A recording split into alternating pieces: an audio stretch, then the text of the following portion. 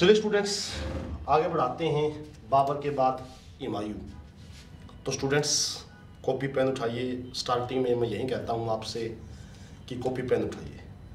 और स्टूडेंट्स एक चीज़ और दावे के साथ कहता हूँ कि जो भी चीज़ें पढ़ाई जाएँगी, अभी जैसे आपका हिस्ट्री चला हुआ है जोग्राफी चला हुआ है कंप्लीट करवाया जाएगा।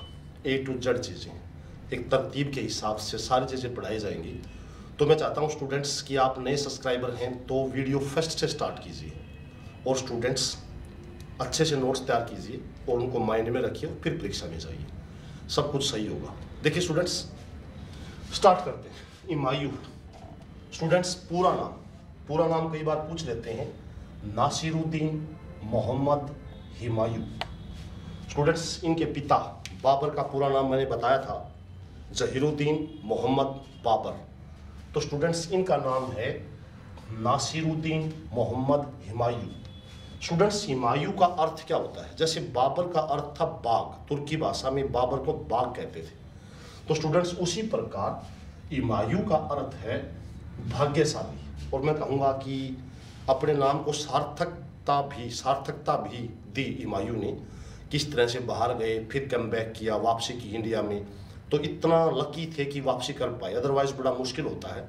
देखिए स्टूडेंट्स बाबर के चार पुत्रों में स्टूडेंट सबसे बड़ा हिमायू था। जन्म 6 मार्च 1508 को स्टूडेंट्स काबुल में हुआ। माता का नाम स्टूडेंट्स महिम बेगम। नोट कीजिए, इनकी माँ सिया थी। बाबर स्टूडेंट्स सुन्नी थे। मुस्लिमों के अंदर दो संप्रदाय हैं, सिया और सुन्नी। आपका जो पाकिस्तान देश स्टूडेंट्स वो सुन्नी बहुल है। साथ में पड़ता ईरान। ईरान स्टूडेंट्स सिया बहुल देश है। और पूछा जाए आपसे कि सबसे ज़्यादा सिया बहुल देश आबादी के हिसाब से तो वो स्टूडेंट्स आज़रबैजान है। आज़रबैजान भूमध्य सागर सॉरी आपका कैस्पियन सागर के पास पड़ता है। वो सबसे ज़्यादा सिया बहुल देश है। चलिए स्टूडेंट्स बाबर के चार पुत्रों में देखिए, कामरान नंबर दो पे अस्करी और उसके बाद स्टूडेंट्स हिंदा। चार भाइयों में स्टूडेंट्स सबसे बड़े हिमायू थे। अपने आखिरी समय पे स्टूडेंट्स बाबर ने इनको कहा था कि अपने चारों भाइयों को आप बराबर रखिए। ऐसा नहीं कि आप शासन करें या आपके नीचे रहें। तो अपने पिता के कहे अनुसार इसने स्टूडेंट्स मुगल साम्राज्य को चार भागों में डिवाइड कर दिया।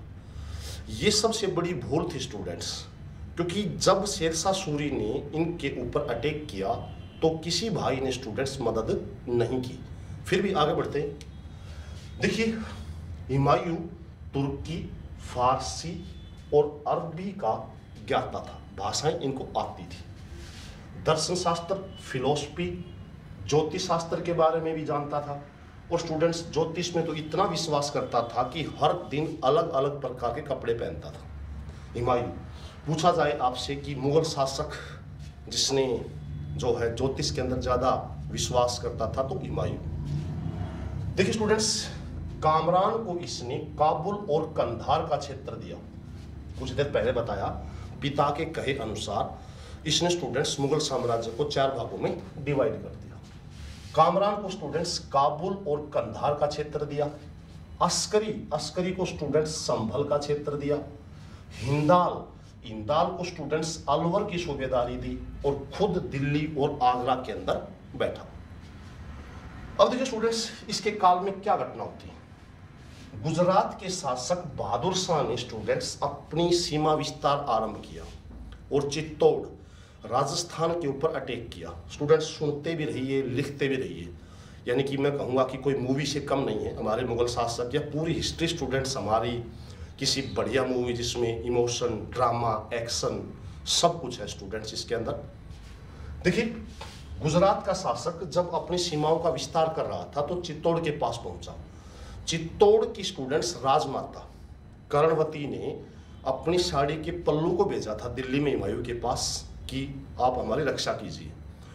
तो स्टूडेंट्स वहाँ पे दरबारी थे, कहा कि एक मुस्लिम शासक, दूसरे मुस्लिम शासक से युद्ध कैसे कर सकता है?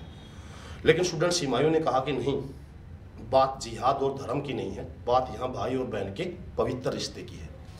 तो स्टूडेंट्स, ये खुद चले, देखिए, इन्होंने खुद युद्ध किया 1535 में, उस युद्ध का नाम दिया गया सारंगपुर का युद्ध। चित्तौड़ की राजमाता ने, कर्णवती ने इमायू को स्टूडेंट्स राखी भेजी थी। हालाँकि बचा नहीं पाए, किला टूट गया था, रानी कर्णवती ने जोहर कर लिया था। लेकिन फिर भी स्टूडेंट्स इन्होंने बहादुर शाह को खंदेड़ दिया, मार नहीं पाए बहादुर शाह की मृत्यु स्टूडेंट्स हुई है पंद्रह सौ में। कह सकते हैं वहाँ से रक्षाबंधन की शुरुआत होती है। लिखिए, रक्षाबंधन विधिवत 1612 में मनाया गया था। 1612 में जहांगीर ने सबसे पहली बार अपने हाथ पे राखी बंधवाई थी। स्टूडेंट्स वहाँ से राखी की शुरुआत होती है। और पर्सनली कहूँ तो स्टूडेंट्स मेरे हिसाब से भी इस संसार में सबसे बड़ा जो रिश्ता होता है, वो भाई और बहन का होता है। निश्चित तौर पे इससे बड़ा कोई रिश्ता नहीं होता। मेरी नज़र में सबसे बड़ा रिश्ता होता है। तो स्टूडेंट 1612 में जहांगीर ने विधिवत रूप से रक्षाबंधन को जो है स्टार्ट किया था। हालाँकि औरंगज़ेब ने आगे चलकर हिंदू त्योहारों को बंद करवा दिया था, फिर भी students Rakshabandhan as it is चलता रहा। चौसा का युद्ध देखिए स्टूडेंट्स 26 जून पंद्रह को, थोड़ा पहले समझिए कैसे युद्ध हुआ। एक नए पात्र की एंट्री होती है, शेरशाह सूरी। अगले वीडियो स्टूडेंट शेरशाह सूरी के बारे में पढ़ेंगे। हिमायू स्टूडेंट्स बंगाल पे लड़ाई करते हैं, चढ़ाई करते हैं, और वहाँ पे विलासिता का जीवन व्यतीत करना शुरू कर देते हैं। इधर स्टूडेंट शेरशाह सूरी जो थे, वो धीरे धीरे दिल्ली की तरफ़ अपनी ताकत को बढ़ाते हैं। जब हिमायू को पता चलता है कि आपका आगरा और दिल्ली पर शेरशाह सूरी का अधिकार होने वाला है तब वो वहाँ से चलते हैं। यानी कि कमतर आंकते हैं स्टूडेंट्स जब वहाँ से चलते हैं तो रास्ते में स्टूडेंट्स करमनासा नदी के पास चौसा नामक जगह पे शेर खान से युद्ध होता है। तीन महीने तक स्टूडेंट्स सेनाएँ आमने सामने खड़ी रहती हैं। शेरशाह सूर्य ने स्टूडेंट्स 1527 में चंदेरी का युद्ध मुगलों की तरफ़ से लड़ा था। मुगलों के साथ स्टूडेंट शेरशाह सूरी पंद्रह महीने रहे। अगले वीडियो में बात करेंगे। तो पूरी युद्ध प्रणाली का इन्हें ज्ञान था। इनको पता था कि मुगल तोप कारगर हैं। यदि मुगल तोप नहीं चलेंगी तो इनको देश से बाहर किया जा सकता है। वहीं वह स्टूडेंट्स 24 जून को ज़बरदस्त बारिश होती है और फिर स्टूडेंट्स 26 जून को रात को बारिश होती है। तो स्टूडेंट्स शेरशाह सूरी रात को ही चढ़ाई कर देते हैं और यहाँ पर स्टूडेंट्स मुगल तोप चल नहीं पाती क्योंकि बरसात होती है। तो स्टूडेंट्स क्या होता है? यहाँ पे हालाँकि इमायू लड़ते हैं, बेहतर लड़ते हैं, लेकिन स्टूडेंट्स भागना पड़ता है। और स्टूडेंट्स निज़ाम नामक बिश्ती ने इमायू की जान बचाई थी। स्टूडेंट्स गंगा नदी के अंदर कूद जाते हैं तो स्टूडेंट्स निज़ाम नामक भित्ती इनको बाहर निकाल के लेके आते हैं।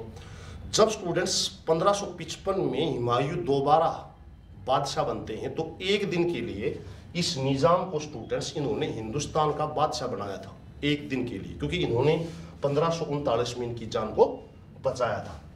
इस युद्ध का स्टूडेंट्स एक परिणाम और है। शेर खान ने शेर शाह की उपाधि को धारण किया था। वास्तव में नाम शेर शाह सूरी स्टूडेंट्स इस युद्ध के बाद पड़ा था। अब इस देखिए स्टूडेंट्स इस युद्ध का परिणाम क्या हुआ? कि हिमायू का आत्मविश्वास पूरी तरह से हिल गया था।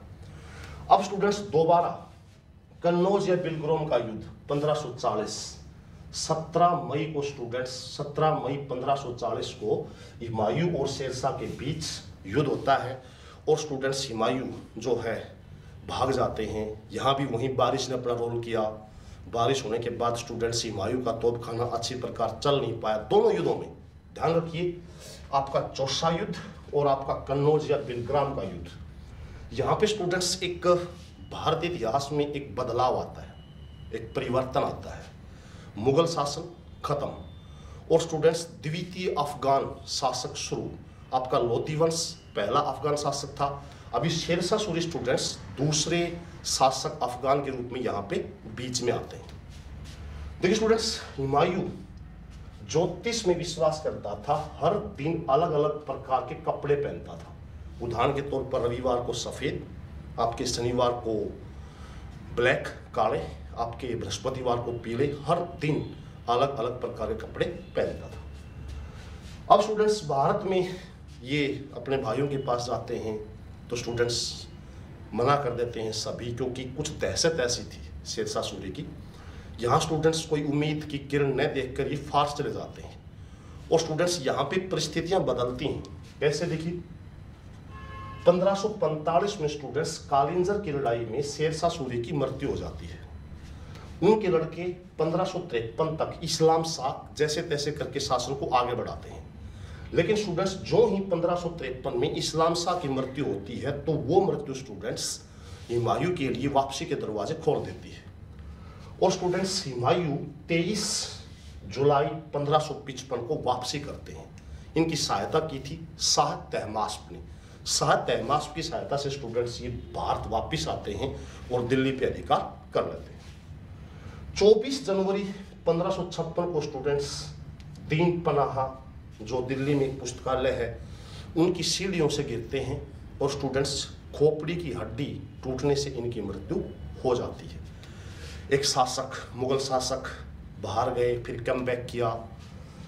उसके बाद देखिए स्टूडेंट्स हुमायूं का मकबरा दिल्ली में है। आपसे पूछा जाए कि एकमात्र पूर्ववर्ती मुगल का मकबरा दिल्ली में सिर्फ़ स्टूडेंट्स हुमायूं का मकबरा दिल्ली में। हुमायूं की जीवनी स्टूडेंट्स हुमायूं नामा, उनकी सिस्टर गुलबदन बेगम ने लिखी थी। सब कुछ लिखा हुमायूं के बारे में। लेकिन स्टूडेंट्स गुलबदन बेगम ने न तो चर्चा की है आपके जोशा के युद्ध की और न चर्चा की है कन्नौज या बिलग्राम के युद्ध की। इन दोनों युद्धों की चर्चा स्टूडेंट्स हुमायूं नामा में, गुलबदन बेगम ने नहीं की है। उसके बाद स्टूडेंट्स, देखिए, हिमायू जीवन भर लड़खड़ाता रहा और लड़खड़ाने से उसकी मौत हो गई, एक विद्वान लेनपुल ने कहा है। एक दो स्टूडेंट्स और कमज़ोर पक्ष हिमायू के अफीम के बहुत ज़्यादा शौकीन थे, नशा बहुत ज़्यादा करते थे। आपसे पूछा जाए कि एक चारित्रिक दुर्बलता और भी थी इनमें कि कोई काम शुरू करते थे। ख़त्म नहीं करते थे, उससे पहले कोई दूसरा काम शुरू कर देते थे। डिसीज़न नहीं ले पाते थे। हालाँकि बाबर के समय शासन पत्ति सही थी, लेकिन बाबर पूरे देश को एकजुट नहीं कर पाए थे, करने का प्रयास कर रहे थे, कर नहीं पाए थे। तो स्टूडेंट्स कुछ एक चारित्रिक दुर्बलता के कारण भी हिमायू का शासनकाल वैसा नहीं रहा, जैसा आगे आने वाले मुगल शासकों का रहा है या बाबर का रहा है। तो स्टूडेंट्स अगले वीडियो में हम पढ़ेंगे शेरशाह सूरी के बारे में। और उसके बाद स्टूडेंट्स पढ़ेंगे अकबर, जहांगीर, शाहजहां, औरंगज़ेब और आने वाले आपके परवर्ती मुगल। तो स्टूडेंट्स सिर्फ़ लिखते रहिए, अच्छे से लिखते रहिए। जितनी चीज़ें स्टूडेंट्स मैं आपको बता रहा हूँ, वो भी लिखिए। वीडियो एक बार देखिए, दो बार देखिए। क्योंकि स्टूडेंट्स जब आपको रूट का पता चलता है तो चीज़ें आसान होती हैं और आपको समझ में आता है। और हमारी हिस्ट्री तो वैसे है भी जस्ट लाइक ए मूवी आपकी कोई अच्छी मूवी देखते हैं, सब कुछ तो है इनके अंदर। इमोशन भी है, ड्रामा भी है, कॉमेडी भी है, सब कुछ है स्टूडेंट शेयर कीजिए सब्सक्राइब कीजिए, खुश रहिए, खुशी के साथ अपने टारगेट की तरफ़ आगे बढ़िए। जय जय भारत।